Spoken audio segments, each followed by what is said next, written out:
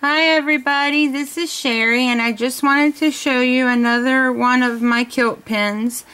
Um, this one is mine and I'm not really a green uh, person. I Pink is my favorite color and then if I were to go with another color it would be, you know, a, a, some kind of light blues and stuff. But someone gave this piece right here to my daughter and I don't know where they got it, but it was something they had, and they were like, well, they thought either, you know, either Danae or I could use it. Well, they absolutely had no idea how much that piece meant to me, because my dad was a coal miner, and, um, you know, when they would have safety awards or this or that, or when you bought, you know, when there would be an accident at the coal mine, they would always do things to sell to make money to help the families or whatever just about everything that my dad ever had had a pickaxe and a shovel on it.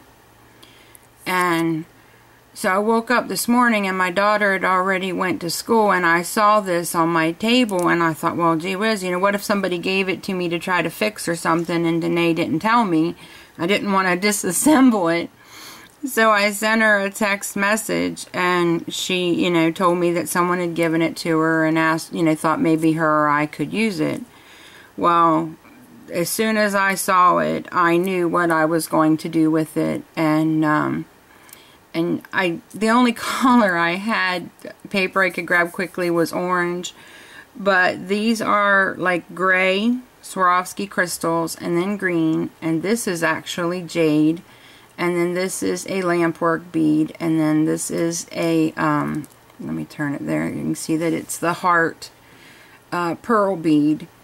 And um, so of course you know my heart the heart goes on it because it reminds me of my dad being a coal miner. The green matches the jade and the necklace. And I was talking to Miss Alice when I was making it and I was trying to decide um, what other color I wanted to use and it's really hard to tell but this is a gray Swarovski crystal. And what I had done when I first ordered um, some beads to work with I ordered a mixed bunch of Swarovski crystals. And I was telling Miss Alice that this was the color my dad came home from work. Every day they would take a shower at work but he would come home and he it would take two or three showers to get all of that dirt and coal off of him. And if I learned anything from my dad being in the coal mine, especially when I was a kid, it was a very dangerous job. And when your daddy left for work, you didn't know for sure that your daddy was going to come home from work. And uh, so it taught me to try to appreciate the time I have with people and be thankful for the moments and the times and the opportunity I get to spend with my family and my friends.